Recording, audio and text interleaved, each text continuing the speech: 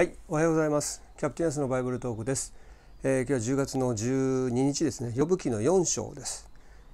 はい、呼ぶ記4章。えー、ここからですね。あのテマン人エリファズという人が出てきます。これから3人の友人がもう交代でしかも、えー、1回2回3回ぐらいかな3ターンぐらいの長い、えー、この友人とのやり取りが始まりましてででこれが嫌になっちゃってねあの飛ばしちゃうことがあると思うんですけども今回特にこれ大事だと思いますので、あのまあ、途中ちょっと飽きてくるところもあるかもしれませんがじっくり、えー、見ていきたいと思います。でさらにですね友人が言ってること正しかったりするんですね結構正論言うんですよ。で予部もあの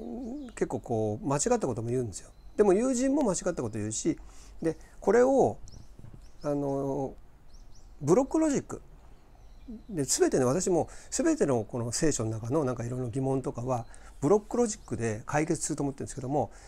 要はそれはそれこれはこれと。なんかある人たちは世の中には正しい人とね悪い人とこう 2, 2つあって「はい」は「はい」「いい」は「いいえ」は「いいえ」っていうとかねそういうちょっとあのなんだろう論理的に考えるのが得意な人たちいるんですけども論理的ではありませんと。ね、それをあのステップロジックっていうんですけどもギリシア的そのね西洋的な論理的な考えじゃなくてブロックロジックこれはこれそれはそれというふうに、えー、偽人はいない一人もいないけどももう根っからの悪人もいないと。サタンは違いますけどね、あの、だからこの人が100%正しいじゃなくてそれは神様。でこの人が100%悪いそれはサタンとしてそのいいところも悪いところもあってでさらに、あのー、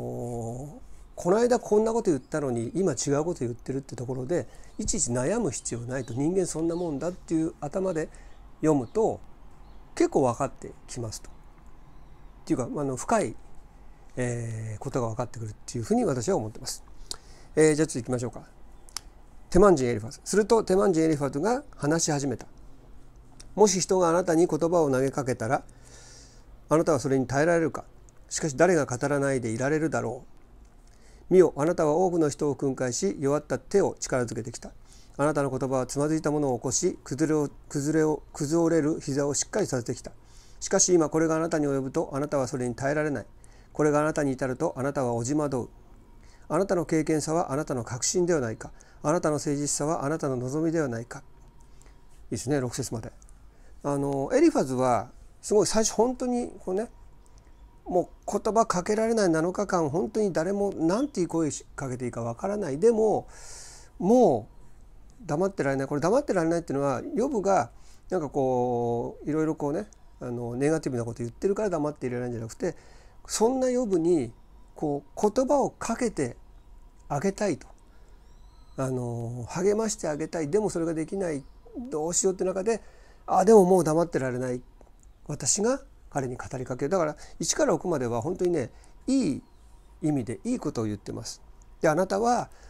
ねそんなこと言わなくてもうそんなこと言うのはあなたじゃないと。あなたは素晴らしい人間で今までたくさんの人をね励ましてきて、えー、あなたは経験でありあなたは誠実でありそう望んでいたじゃないかと、えー、すごいねこう言うんですけども。7節以降ちょっとねあですね。さあ思い出せと。誰が潔白なのに滅びたものがあるか。どこにまっすぐなのに立たれたものがあるかと。こっからちょっとね、えー、説教っぽくなるというか私の見て特にこれね私の見てきたところでは不法を耕して害悪をまく者が自らそれを刈り取るのだ。彼らは神の息吹によって滅び右狩りの息によって消え失せる。